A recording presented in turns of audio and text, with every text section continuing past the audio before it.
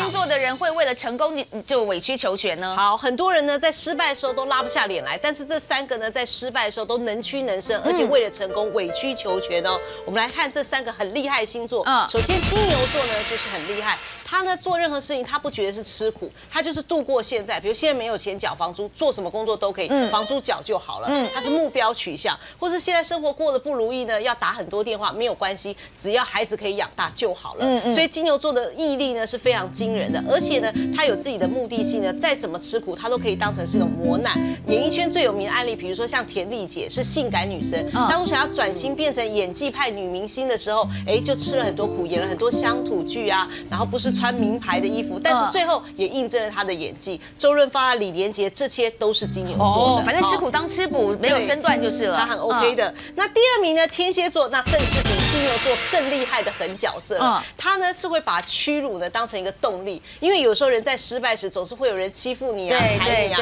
他每天就想着敌人的面容啊，每天就看着敌人的照片啊，每天就化悲愤为力量，所以这个是他最厉害的一个点。所以天蝎座成功艺人太多了，你说像郭富城啦、天心啊，最有名的案例呢就是刘晓庆。哦，我们可以为他拍拍手，他的确是在成功的这条路上呢是所向披靡的哈。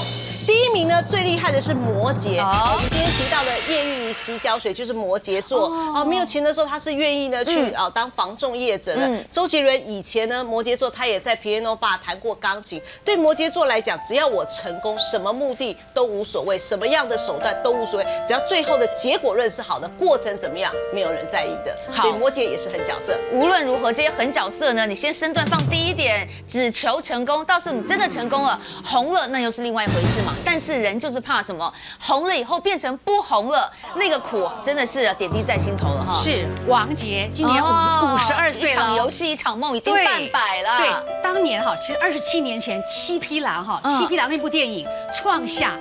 当年呢，哈，七千万的票房记录啊，你看有多好。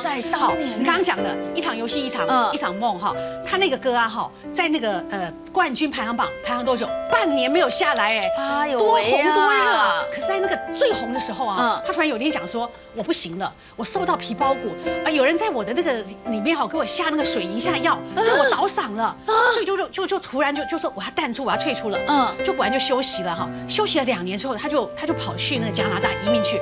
突然又回来了。回来之后呢，他就调整，加入了英皇集团。哎，英皇集团不得了哎，谢霆锋啊，容祖儿啊，以前陈冠希还有 Twins，这么多大牌的英皇，王杰加进去了。嗯，这一签约签多久？签十年哇，表示很有信心嘛。嗯嗯。可是呢，因为他再调整回来之后，他想他希望说，我不要那么累，像以前那样累得半死。所以呢，都是他想要做什么，英皇在帮他做。但是所以这中间过程啊，哈，就很多事情他是不愿意去接的。嗯。所以呢，慢慢慢慢，他的他的很多的活动啊，哈，就是觉得跟以前的。就没有像以前像我们刚刚讲嘛，呃，那个那个七匹狼或什么那种那种就回不去了。拍了很多的电影，也出了很多的唱片，总共出了五六十张啊哈，五六十张这么多，可是就是没有办法赶上以前像啊七匹狼啊一场游戏场都赶不上那个进度，那那么好。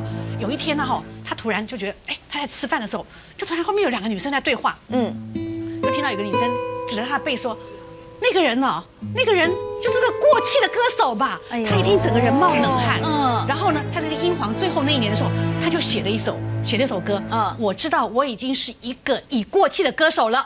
他自己写这首歌，我知道我是一个已经过气的歌手。好心酸。二零零九年，而且这个样子完全不像以前那个样子了。对，你看，真的是时不我与。他写完之后啊，哈，跟英皇就结束了。他写这首歌自嘲嘛，可是他真的是王杰自己作词作曲，是这样写。你看，感伤说，你看光辉岁月慢慢变暗淡的时候，你也开始鄙视我。哎呦，对，后来啊，哈，哎，跟英皇结束了，他自己哈在休息两年，在想。不行，我我不愿意就这样子就就就离开了。他转战大陆，因为大陆现在非常的火红嘛，他又能唱歌，还可以去二线、三线的城市在唱。但是他毒舌又来了，他竟然批评说，他去当评审，他说我觉得哈，现在这个香港歌手都不会唱歌，讲这个话。好了，这一下他们说，哎，你在骂谁？你在骂张学友吗？你在骂陈奕迅吗？对不对？好，他就他也他也就没有讲话。后来啊哈，他更是他有一次评呃在评的时候啊哈，成龙的徒弟来比赛了，嗯，他竟然把他给刷掉了。淘汰掉了，嗯，他们说你完了，你得罪了成龙了，你你好歹给他过关嘛，对不对？好，这时候啊，好，他就又从评审席上又消失了。可是这这一两年呢，他又努力振作。他说，哎，我要办一个演唱会，五月份。他说这是今年五月吗？对，这是我告别演唱会。我唱完之后，此生哈封麦不唱了。嗯，那有人传出来说他是不是身体不好，得了什么疾病？嗯，哦，是不是身体健康什么什么也有这种很奇怪的病或怎么样？不然怎么会说我五月份这是我人生最后的演唱会？是不是这个样子？